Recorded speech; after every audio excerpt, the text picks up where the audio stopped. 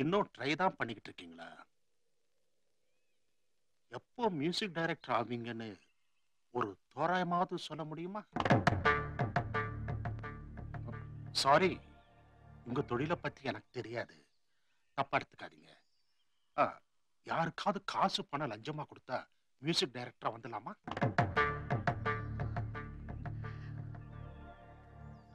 என் ரெண்டாவது பொண்ணு சுதாவுக்கு ரொம்ப நல்ல இடம். நானா எந்த முயற்சியும் பண்ணல.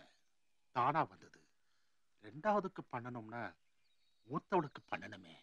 அது நிர்பந்தம். விஜய் சொன்னா உங்க குடும்பம் படிப்பெல்லாம் ரொம்ப நல்லா இருக்கு. ஒரு வேலை மட்டும் இருந்துச்சுன்னா இந்நேரம் நானே உங்க கல்யாண வேலையை ஆரம்பிச்சிருப்பேன். நீங்க சொல்ற வேலை தான் எனக்கு சமாதானமாகல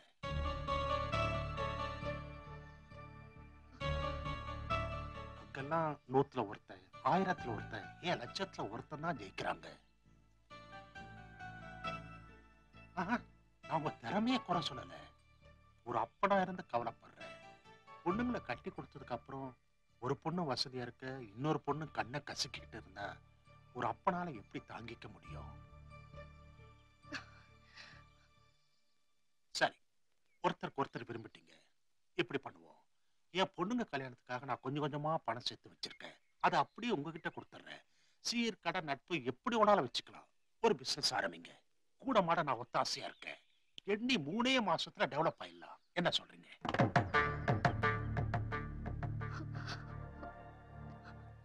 என்னடா கூப்பிட்டு வச்சு இப்படி எல்லாம் பேசுறானேன்னு நினைக்காதீங்க. இது வாழ்க்கை பிரச்சனை. நீ அரிசி கொண்டு வா நான் உண்மை கொண்டு வரேன். ரெண்டு பேரும் ஊதி ஊதி சாப்பிடலாம்னா ஒத்துக்க மாட்டாங்க. தயவு செஞ்சு நான் உங்களை இன்சல்ட் பண்றதா மட்டும் நினைக்காதீங்க. என் பொண்ணோட வாழ்க்கையை நினைச்சு பயந்து பேசுறேன் நீங்க ரெண்டு பேரும் படிச்சவங்க. நீங்க சுயமா தைரியமா எந்த முடிவுனாலும் வேணாலும் எடுக்கலாம்.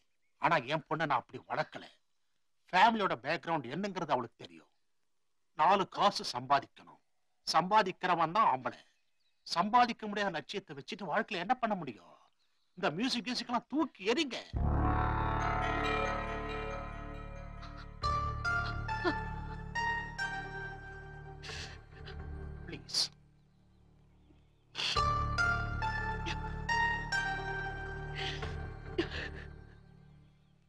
மியூசிக்ங்கிறது நான் நேசிக்கிற விஷயம் மட்டும் இல்லை சார் அது நான் சுவாசிக்கிற விஷயம் கூட. இது எட்டு வருஷம் முயற்சி மட்டும் இல்லை எட்டு வருஷம் தவம். ஜெயிக்கிற வரைக்கும் பாதியிலே கலைக்க முடியாது சார் ஆசையோட வாணை யார் கை நீட்டி கூப்பிட்டாலும் குழந்தை உடனே அவங்க கிட்ட ஓடிரும். ஆனா போன ரெண்டாவது நிமிஷமே தாயை பார்த்து திரும்பிடும்.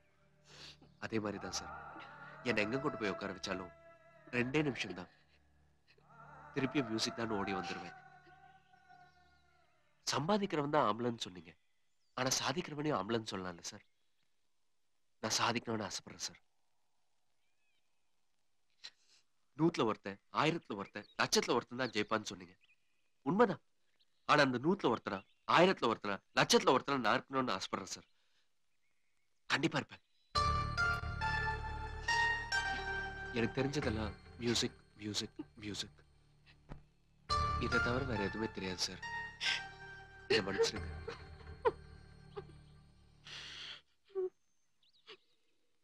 நான் ஒண்ணு கேக்குறேன். தப்பா எடுத்துக்காதீங்க. நீங்க விரும்புற என் பொண்ணை விட மியூசிக் தான் முக்கியம்னு சொல்லிட்டீங்க. சப்போஸ் கடைசி வரைக்கும் உங்களால மியூசிக் டைரக்டரா வர முடியலன்னா என்ன பண்ணுவீங்க?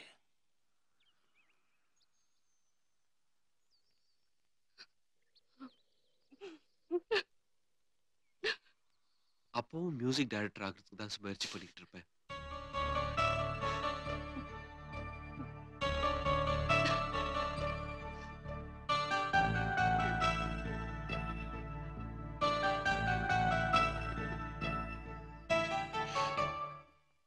ப்ளீஸ் எதையும் சொல்ல வேண்டாம். உங்க மனசுல இருக்கிறத நீங்க சொல்லித்தான் நான் தெரிஞ்சுக்கணும்னா. நம்மளோட இத்தனை நாள் பழக்கத்துக்கு அர்த்தமே இல்லை. எனக்கு தெரியும். யூ லவ் யுவர் மியூசிக் அந்த மியூசிக் தான் நம்ம ரெண்டு பேருக்குமே முகவரி. அதை விடுன்னு சொல்வேனா? மாட்டேன்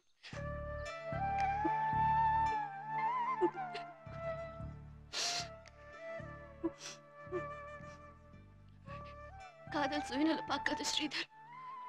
காதலிக்கிறவங்களுக்காக விட்டு கொடுக்க தோணும். விட்டு கொடுக்கும். காதலுக்காக எதையோ விட்டு கொடுக்கும். சில சமயம் காதலை விட்டு கொடுக்கும். ஸ்ரீதர்.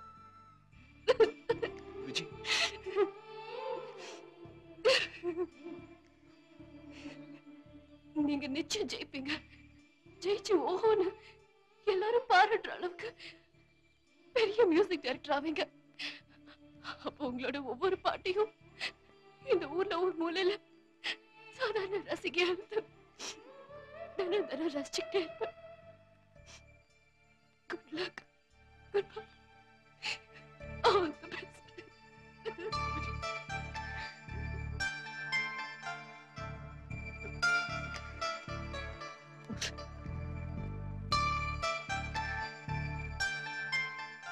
டேய் பெருசா பேச வந்துட்டோம். எந்த பிரச்சனையா இருந்தாலும் கடைசி வரைக்கும் கைவிடாம இருக்கிறதாண்டா காதல். இனிமே எல்லாம் முடிஞ்சு போச்சுன்னு ஈஸியா சொல்லிட்டு இங்க வந்து உட்கார்ந்துருக்கிற? இது உனக்கு தப்பா தெரியல? துரோகம்னு தோணல? போடா டேய்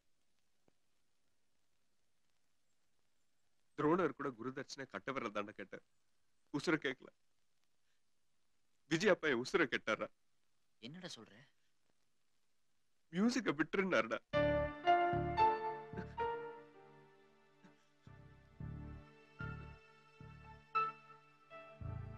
மியூசிக்க விட்டுட்டு என்னால எப்படி இருக்க முடியும்? நான் நல்லா இல்ல. விஜய் அப்படி அதான் எல்லாரும் நல்லா இருக்கணும்ட்டு நான் விட்டுட்டேன். விஜய விட்டுட்டேன்டா.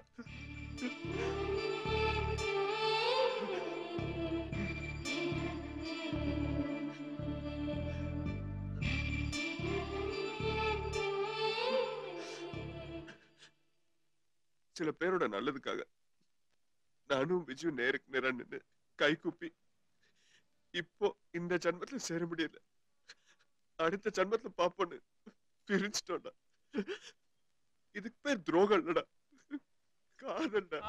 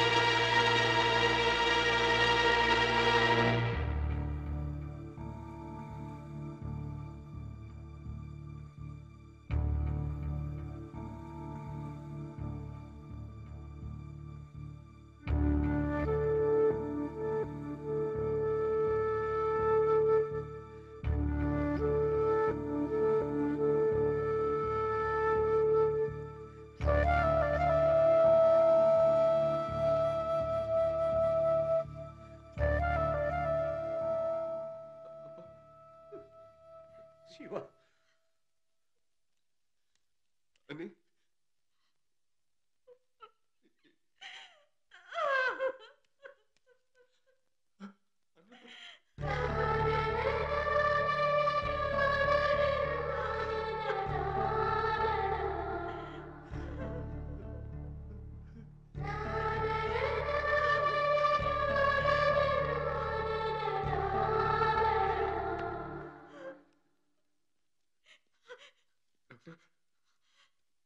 பேஷண்ட்டுக்கு நீங்க என்ன வேணும்? தம்பி. பழைய ரிப்போர்ட்ஸ்லாம் இருக்கா? சார் அதான் லாஸ்ட் டைம் அட்டாக் வந்தபோது எடுத்த இசிஜி எக்கோகிராம் ஆஞ்சியோகிராம் பண்ணாங்களா? டாக்டர் ஒன்றும் இது சரி வர தலைவலி ஃபீவர் தவிர இப்போ ஒண்ணும் பயம் இல்லையே. Sir is in serious condition இது செகண்ட் அட்டாக் மெஷின் உங்க யாருக்கும் தெரியாதுன்றீங்க இவங்க. Let me see what i can do.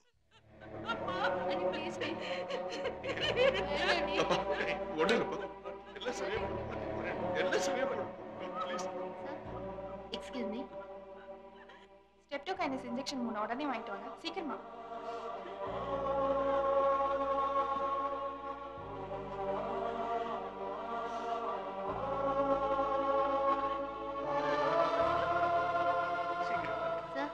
ஒரு இன்ஜெக்ஷனோட விலை மூவாயிரத்தி எழுநூத்தி நாற்பத்தோரு ரூபாய்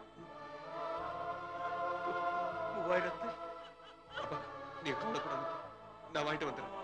நான் வரப்பா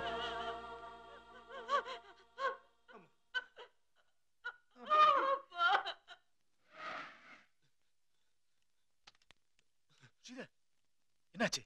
மேசிவ் அட்டாக்காம சிவா எப்படி இருக்கான்? ஐசியூல எனக்கு ஃபோன் பண்ண வேண்டியதானே கையில என்னது? இன்ஜெக்ஷன் ஸ்ட்ரெப்டோகைனஸ் உடனே போட சொல்லுவாங்களே? போடாச்சா இல்ல. ஏன்டா தயங்குற? ஓ. எல்லாத்தையும் பிடி. போ. முதல்ல போய் வாங்க போ போ.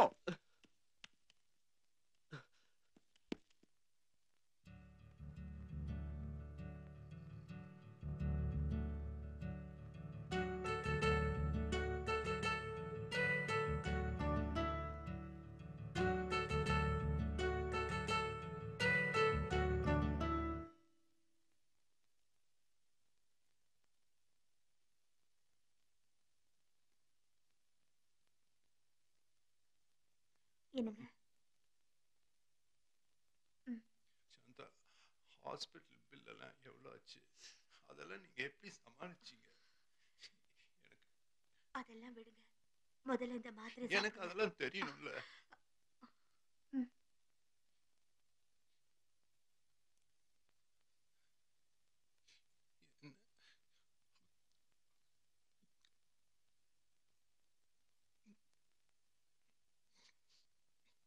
ஆபீஸ்க்கு ஒரு ஃபோன் பண்ணிட்டு வரேன் இரு. எங்கப்பா கிளம்பிட்டேன் இல்லப்பா இன்னைக்கு சண்டே இன்னைக்கு ஒரு நாள் ரெஸ்ட் எடுத்துட்டு நாளையில இருந்து டியூட்டி ஜாயின் பண்ணும் ஆபீஸ்க்கு ஃபோன் பண்ணிட்டு வந்துடுறேன். என்னப்பா சொல்ற? வேலைக்கு போறேன்ட்டு. மண்டேல இருந்து எப்படி போக முடியும்? ஏன்பா? என் டாக்டர் என்ன சொன்னார்? தெருவுல இறங்கக்கூடாது. அதில நடக்கக்கூடாது. சத்தமா பேசக்கூடாது வேகமா சாப்பிடக்கூடாது ஐயோ. ஆயிரம் ரூல்ஸ் போட்டிருக்காரு அப்பா ஐயோ அப்பா.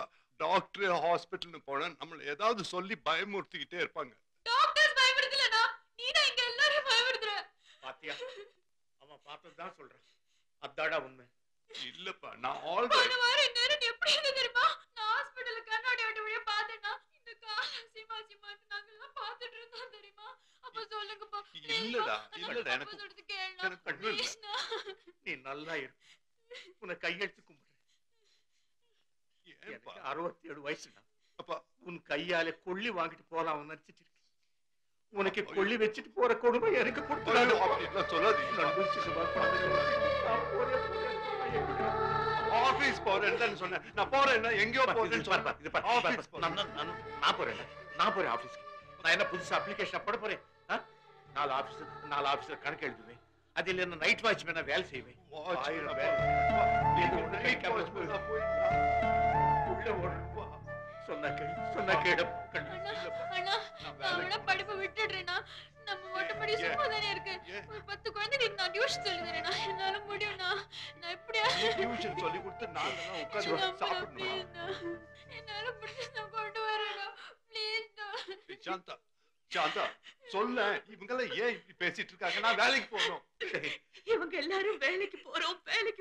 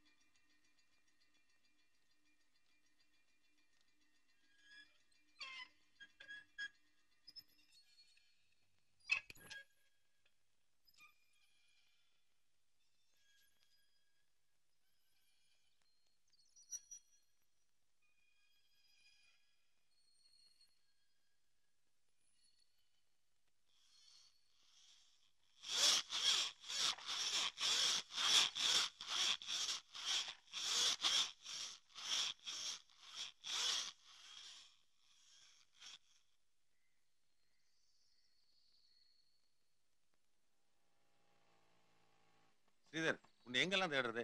சந்தானம் உன்னை உடனடியாக கூட்டு வர சொன்னாரு. புது படமா பெரிய கம்பெனியா? வண்டியில இரு என்னப்பா நான் பாட்டுக்கு பேசிட்டு இருக்கேன் நீ பாட்டுக்கு யோசிச்சுட்டு இருக்க? ஆஃபீஸுக்கு போகணும்னு. ஆபீஸ்க்கா? வேற யாரையாவது பாக்குற வேலை இருக்கா? இனிமே என் வேலையே ஆஃபீஸில் தான். ஸ்ரீதர் என்ன சொல்ற அண்ணன் ஃப்ரெண்ட் கம்பெனியில் வேலை. சைட் சூப்பர்வைசர் காலையில் ஒன்பது மணிக்கு போனால் ராத்திரி பதினோரு மணி ஆயிடும். மாதம் அஞ்சாயிரத்து ஐநூறுரூவா சம்பளம். இன்சென்டிவ் அது இதுன்னு சேர்த்தா குடும்பத்தை ஓட்டுற அளவுக்கு வருமானம் வந்துடும் ஒன்றாம் தேதி ஆனால் டானு சம்பளத்தை கொடுத்துருவாங்கண்ணே. என்ன ஒன்று இந்தியாவில் இருபத்தி நாலு மணி நேரம் மியூசிக்கை பற்றி நினச்சிக்கிட்டு இருப்பேன். இனிமே அதை கேட்க நேரம் கிடைக்குமான்னு தெரிலண்ணே இப்ப இப்ப என்னாச்சு இந்த முடிவுக்கு வந்த? இனிமேலும் என்ன நடக்கணும்னு?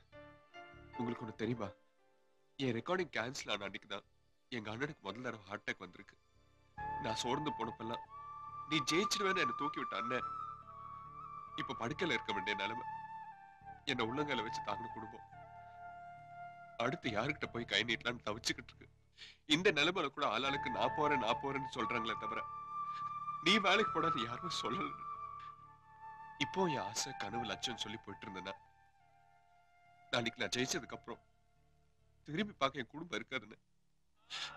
ஒரு மனுஷனோட சாதனை உலகமே பாராட்டினாலும் அவனுக்கு கிடைக்கிற நிஜமான சந்தோஷம் அந்த குடும்பத்துக்குள்ள தானே. எனக்கு என் குடும்பம் முக்கியம்.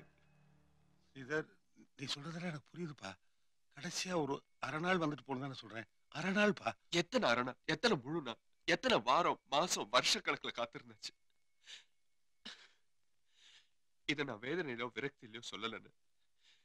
காத்திருக்கிறதுக்கும் முயற்சி பண்றதுக்கும் போராடுறதுக்கும் இது சரியான நேரம் இல்லைன்னு. இது வெறும் முயற்சி மட்டும் இல்ல எட்டு வருஷத்தை டவுன் சொல்லுவியப்பா. நீயா இப்படி எல்லாம் பேசுறதுனால நான் தோத்து போயிட்டேன்னு கூட எனக்கு தோணும். இல்லைன்னு. நான் திரும்பி வருவேன். நீங்க நான் நாம எல்லாரும் ஆசைப்பட்ட மாதிரி. ஒரு பெரிய மியூசிக் டேரக்டர் ஆவேன். அதுக்கு இந்த இடைவெளி தேவைன்னு. ஸ்ரீதர் வேலைக்கு போறதை நான் அன்னைக்கே முடிவெடுத்திருந்தேன்னா அட்லீஸ்ட் அந்த விஜயாவது உனக்கு கிடைச்சிருப்பா. அவசரப்படாதப்பா. அவசரப்படலன்னு. தெளிவா தான் முடிவெடுத்திருக்கேன். ஒரு குழந்தைய கூப்பிட்டு உனக்கு அப்பா பிடிக்குமா மாமா பிடிக்குமான்னு கேட்டா அது அப்பா பிடிக்கும் தான் சொல்லும். அதே குழந்தைகிட்ட போய் உனக்கு அப்பா பிடிக்குமா அம்மா பிடிக்குமான்னு கேட்டா பளிச்சுன்னு அம்மான்னு தான் சொல்லும். அந்த மாதிரி தானே. அன்னைக்கு இருந்த சூழ்நிலையில விஜயா மியூசிக்கானு கேட்டப்போ மியூசிக்னு சொன்னேன். ஆனா இப்போ மியூசிக்கா குடும்பமானு வரப்ப மியூசிக் வேணான்னு சொல்ல முடியல. குடும்பம் தான் வேணும்னு முடிவு பண்ணிட்டேன்னு ஸ்ரீதர் நீ அடிக்கடி சொல்லுவிய இந்த மாதிரி ஒரு குடும்பம் கிடைக்க கொடுத்து வச்சிருக்கணும். ஆனா இப்ப நான் சொல்றேன் உன்ன மாதிரி ஒரு புள்ள கிடைக்கிறதுக்கு அந்த குடும்பம் நான் கொடுத்து வச்சிருக்கணும். இதை பாருப்பா இப்ப வேணா ஒரு கலைஞனா நீ நிரூபிக்காம போயிடலாம் ஆனா ஒரு மனுஷனா வசந்துட்டப்பா வரேன்னு. சரி அடிக்கடி கடப்பக்கம் வராம போயிடாதுப்பா சரிண்ணே